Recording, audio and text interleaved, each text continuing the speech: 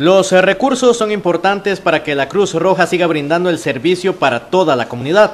Es por eso que las capacitaciones que brinda la institución sirven como medio para captar ingresos que colaboren con la benemérita institución.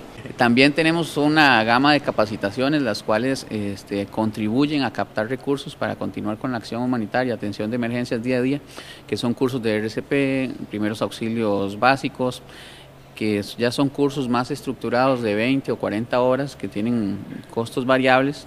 Y es que por varios motivos las empresas y personas particulares necesitan este tipo de capacitaciones. Por eso la opción de la Cruz Roja es importante y así colabora con el gran trabajo que realizan en el Comité de Pérez Celedón. Y que hemos estado vendiendo a diferentes empresas y a diferentes personas que, han, que, que tienen como requisitos o que les están pidiendo por alguna legislación especial que deben contar con esos niveles de capacitación.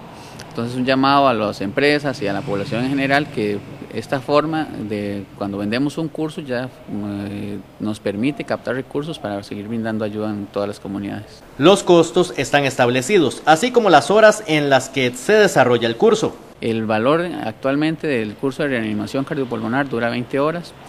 Eh, son 57 mil colones por persona y ahí está el primeros auxilios básicos que son 40 eh, horas, ese tiene un costo de 64 mil colones.